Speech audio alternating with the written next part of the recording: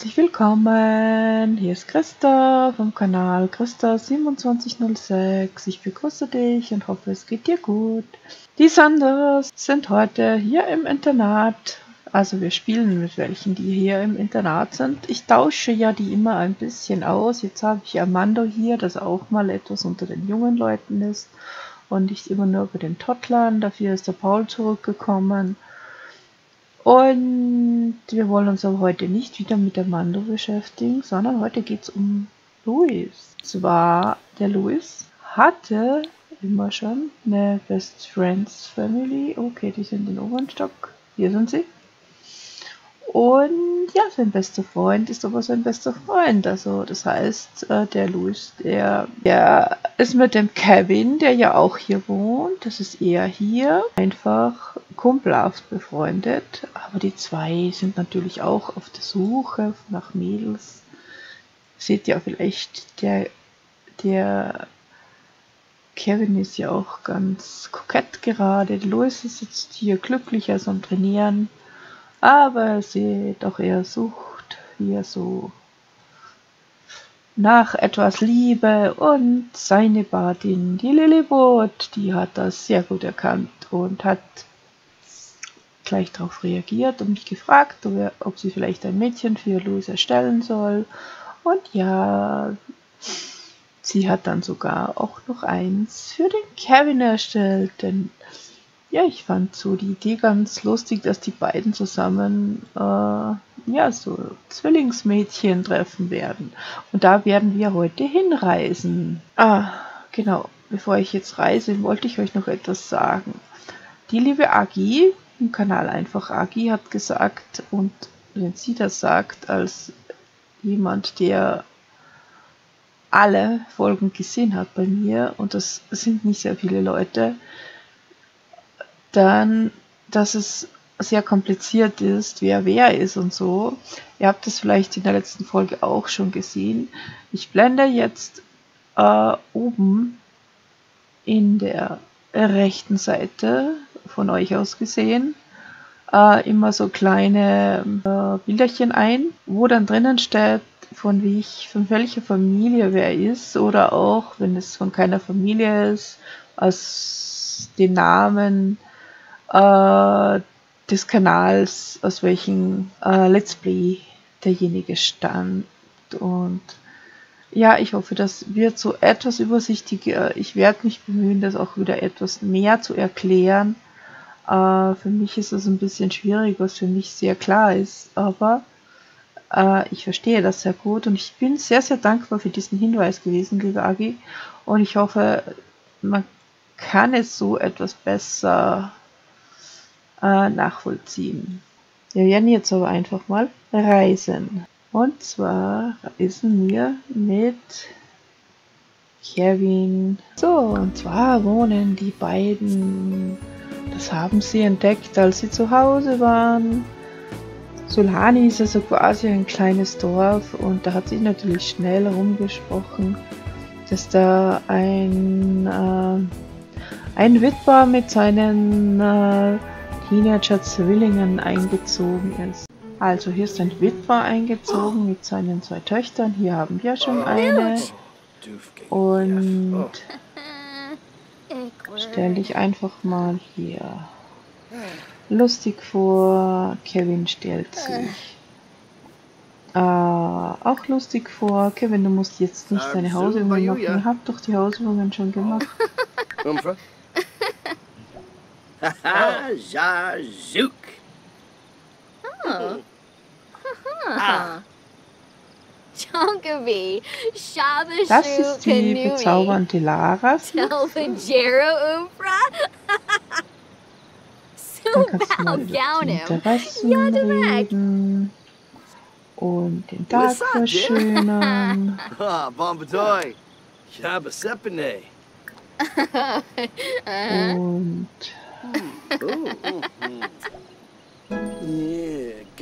Kennenlernen.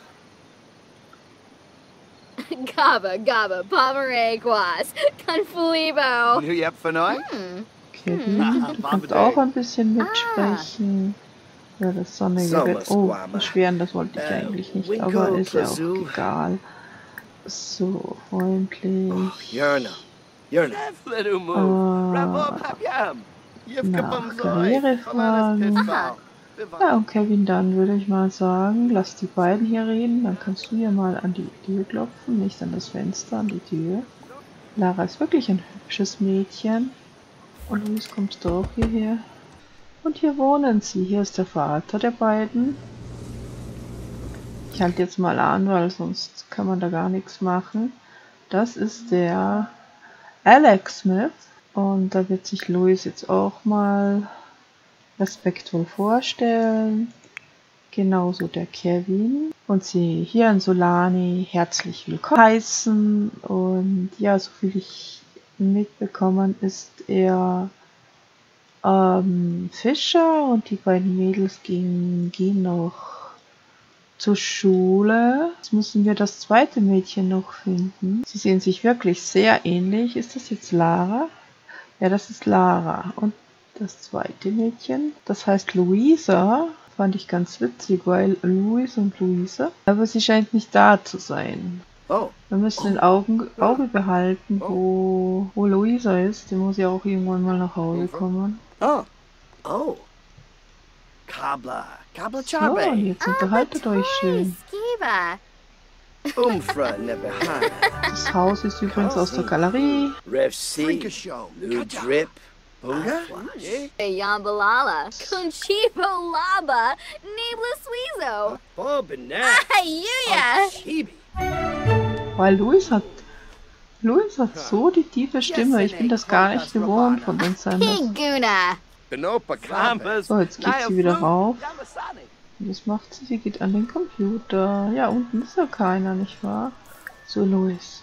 Dann musst du sie einmal anmachen, ein bisschen, Luis.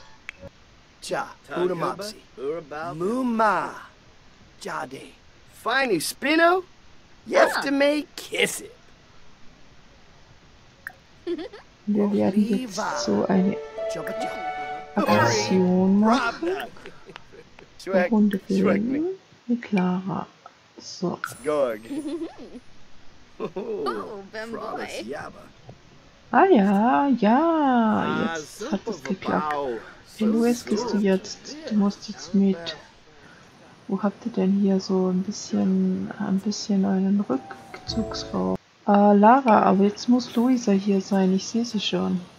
So, Kevin, komm. Oh, es ist schon spät, aber wir suchen die jetzt. Wir suchen sie jetzt. Irgendwo muss Luisa sein. Die schläft schon. Die ist so richtig an uns vorbeigegangen. Ich weiß, das wird jetzt wahrscheinlich Schock ihres Lebens sein, aber Kevin wird sie jetzt aufwecken. Die müssen sich jetzt kennenlernen. Kevin, komm rein.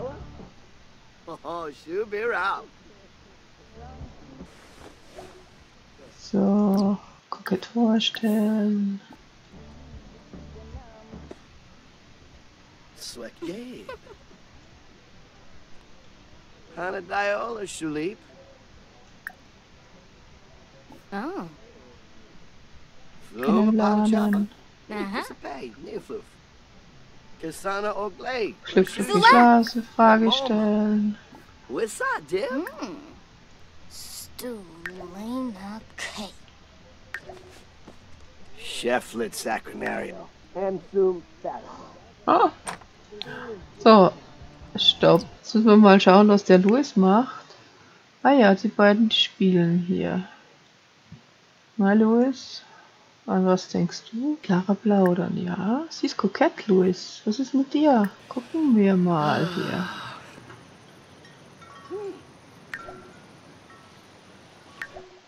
Hey, Ich werde euch die, die Familie dann auch noch im Cast kurz zeigen. Aber jetzt müssen wir sie erstmal kennenlernen, bevor es total mitten in der Nacht ist.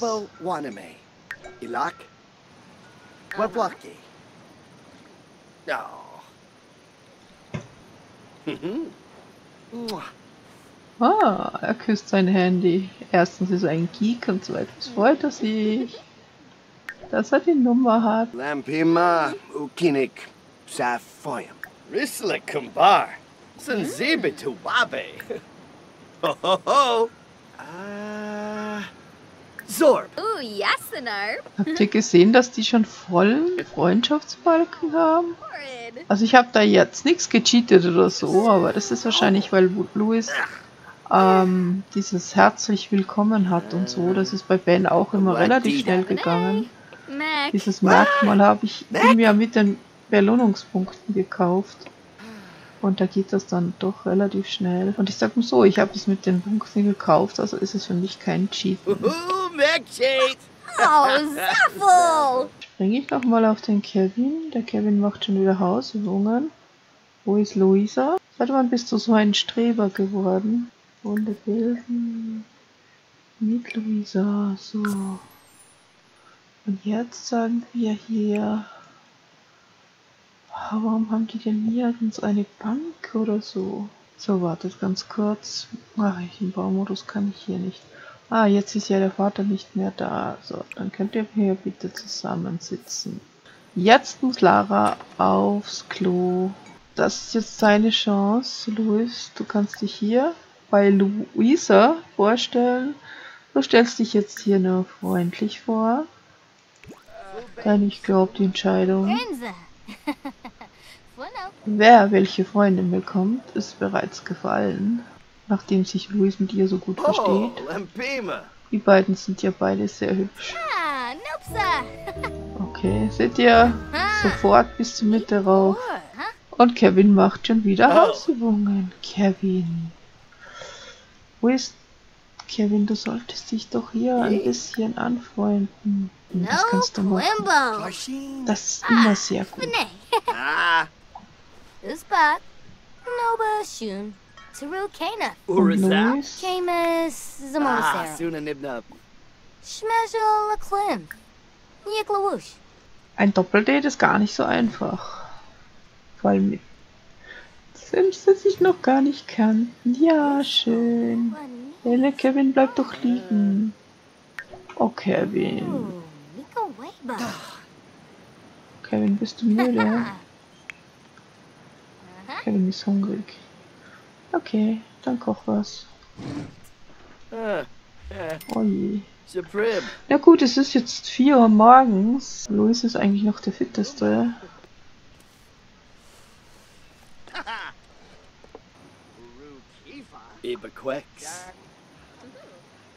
Stopp. Samso. Sabadon.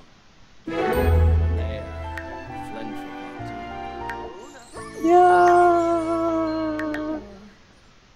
Das ging ja super. Er lacht. So glücklich, Luis. Wir klicken ihn an. Ist immer noch konzentriert und Oh. Tombra. Winu. uh, Benkira. Umfra. Shubi Rao. Fenoi. Benarla. Subi Umfra. Rib. Rar. bei 10 Sims ist es leider so, dass wir extrem lange brauchen, bis wir wieder überall herum sind. Und ich hätte gerne, dass der Luis sie noch fragt, ob sie seine Freundin sein mag. Naya Floof Muchi Pichi. Uh-huh. Wanafej Husha. Yabasani Fatamoy. Antrip Aragaba. Lampima Ukinik. Das geht noch Javoy. nicht.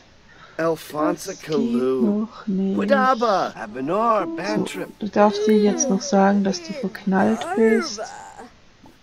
Und dann äh, fährst du nach Hause. Und Kevin? Wo ist Kevin? Der macht hier Musik, aber ist noch nicht so gut darin.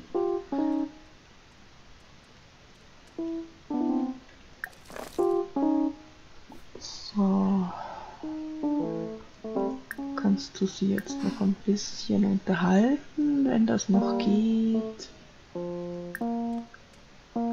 Ah, diskutiert über Religion. Tarbo. ist auch inspiriert. Shada. Gel. Yeah. Ina. Oh, you her? Clem. Sequinario. Yutorba Melvoy. What's that, Dib? Ah, Shuska. Bombatoy. Ayubs. Oh, oh. Hey, Barangi. Kevin, dann ist was. Es ist jetzt 7 Uhr. Der Louis ist schon zu Hause. Jo, ist zu Hause. So, Kevin isst jetzt noch was und komm, jetzt flirt sie wenigstens noch ein bisschen an. Kevin. Nee, das ist noch zu früh. Naja, es tut mir leid, Kevin, aber dann werden wir bei dir noch etwas länger brauchen, aber das macht ja auch nichts. Das ist ja nur die Bonusoption, dass du mit der Schwester hier ein bisschen anflirtest, aber kriegen wir auch noch hin. Wichtig ist, der Louis hat jetzt einen Romantikbalken und ja, ich zeige euch jetzt noch im kurzen ähm, die Familie. So, hier haben wir jetzt die drei. Das ist der Papa der beiden. Das ist der Alex Smith. Er ist Erwachsener. Er möchte gern das Strandleben als, als bestrieben haben. Er ist ehrgeizig, er ist selbstsicher und er ist materialistisch. Das ist sein Alltagsoutfit. Sein äh, ausge seine Abendkleidung, sein Sportoutfit, sein Schlafanzug, sein Partygewand, sein Badegewand, sein heißes Wetteroutfit und sein kaltes Wetteroutfit. Und dann gibt es eben die Zwillinge, die sich sehr ähnlich sehen, aber ja, sie haben ein bisschen ein anderes Outfit und auch ein bisschen andere Persönlichkeitsmerkmale. Luisa ist eine Öko-Innovatorin, eine Sammlerin, sie ist Vegetarierin und sie ist fröhlich. Und äh, sie ist ein Teenager, man das auch sieht. So, das ist ihr Alltagsoutfit. Das ist ihr Party, also Abendkleidung, ihr Sportkleidung, ihr Schlafoutfit, ihr Partyoutfit. So geht sie schwimmen. So läuft sie rum, wenn es heiß ist und so, wenn es kalt ist. Und wir wollen sie uns noch ein bisschen in der Nahaufnahme ansehen. Sie hat schöne, so graublaue Haare und hat auch graublaue Augen, super schöne Wimpern. Ups, das wollte ich nicht. Ich wollte nicht hier raus. Echt sehr, eine sehr hübsche Simin. Und jetzt machen wir uns gleich mal im Vergleich die Schwester auf. Da gehen wir auch gleich mal in die Detailbearbeitung, dass wir alles gut sehen. Und ihr seht, sie ist hier wirklich sehr ähnlich. Also man sieht, dass sie Zwillinge sind. Sie hat dieselben Augen, auch die gleiche Haarfarbe. Hallo, was mache ich denn immer? So muss ich aus. Sie ist nur, es nur eine andere Frisur und sie ist vielleicht die etwas elegantere mit den Kleidern und so. Und sie hat das Bestreben, Freundin der Welt. Sie ist gesellig und romantisch. Und jetzt sehen wir uns noch ihre Outfits an. Also das ist die Lara. Und das ist ihre Abendkleidung. Das ist ihre Sportkleidung. Das ist ihr Nachtoutfit. Das ist ihr Party-Outfit. So geht sie schwimmen. Und das ist ihr heißes Wetter-Outfit. Und letztlich hier das kalte Wetter. Ja, also drei wirklich tolle Sims. Und ich danke dir, liebe Lillibut, ganz herzlich dafür, für die Idee. Und ja, auch, dass du bereit warst, auch für den Kevin eine zu machen. Denn ja, das könnte sich doch, daraus könnte sich noch eine ganz interessante Geschichte entwickeln. Und ja, das mit den Namen finde ich auch sehr witzig. Luisa, Luis, Lara, Kevin. Das passt doch ganz gut zusammen. Und ja, den, äh, dem, dem Vater habe ich den Job des Anglers gegeben, weil das für Solani gut passt. Und ähm, Mädels habe ich natürlich auch ein paar Zufallswerte gegeben, dass sie hochgepusht wurden, weil ja, die ja auch schon vorher Fähigkeiten hatten. Und jetzt sind wir natürlich hier im Haushalt gelandet, wie es halt so ist, wenn man in Cars war. Ich nehme mal an, der Kevin, ach der Kevin ist noch hier. Der Kevin spielt jetzt hier Schach. Arogaba. Ah, Und er ist noch ein bisschen verlegen, glaube ich. Da draußen springen die Delfine. Guckt mal, wie schön. Jetzt, naja, natürlich, jetzt ist keiner mehr da, weil ich hier, ah, hier sind sie. Aber es ist jetzt natürlich Zeit für die Mädels in die Schule zu gehen. Die haben jetzt natürlich auch wahrscheinlich keine Hausübungen gemacht. Das ist Lara, oder? Ja, na, das ist Luisa. Ja, das ist die künstliche, künstlerische von den beiden. Und Lara. Lara geht zur Schule und hat nichts gegessen. Wir könnten hier das schnell einbacken. Achso, das müssten wir vorher in ein Lunchpaket. Okay, das ist zu spät. Dann gehen wir es in den Kühlschrank. Ja.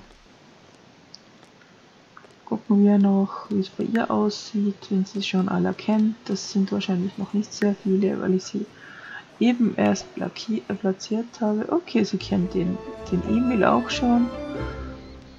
Und das ist ihre Familie und Luis, aber das, das ist doch schon wirklich sehr ein gutes Ergebnis. Und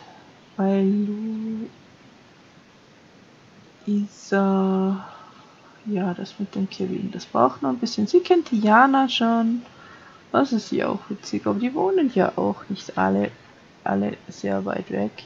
So, der Alex ist jetzt schon wieder nach Hause gekommen. Der arbeitet ja immer sehr früh als, als Tiefseeangler von 5 Uhr bis 9 Uhr. Der muss nicht mehr so viel arbeiten und deshalb hat er sich so sein, sein Hobby zum Beruf gemacht. Und ja, vielleicht lernt ihr auch eher eine nette Dame in Solani oder woanders kennen. Wir werden es sehen. Er hat auf alle Fälle auch die beiden Jungs kennengelernt. Naja, wie auch immer, der Kevin ist jetzt nicht zur Schule gegangen, der ist gleich hier geblieben. Ich kann das jetzt auch nicht mehr ändern, weil er lässt sich in diesem Gerät hier leider nicht anklicken. Aber macht ja auch nichts. Dann hat er halt mal einen Tag in der Schule gewählt. Wir werden uns darum kümmern, dass er wieder nachkommt und ja auch, dass er hier das, die Beziehung zu äh, Luisa etwas mehr aufbaut, damit wir dann irgendwann mal äh, was unternehmen können mit den Vieren, aber natürlich auch mal dann mit Luis und Clara alleine. Ich freue mich auf alle Fälle sehr, dass Luis jetzt auch eine Freundin hat, auch wenn sie noch nicht seine feste Freundin ist. Das wird ja noch kommen. Er hat sie gerade erst kennengelernt. Ich bedanke mich bei dir, liebe Lilliput, ganz herzlich noch einmal dafür, dass du das möglich gemacht hast. Und ähm, ja, in der nächsten Folge werden wir sehen, wo wir sind. Äh, die Ereignisse überschlagen sich ja immer und es ergibt sich dann etwas von alleine. Aber geplant ist von mir irgendwie so jetzt demnächst einmal mit dem E-Mail unterwegs zu sein, weil den, seine Freundinnen ja vorher Vampire waren und da nicht viel möglich war. Und das möchte ich jetzt auch noch nachziehen. Und ja, ich denke mal, das wird die nächste Folge dann sein. Aber lassen wir uns überraschen.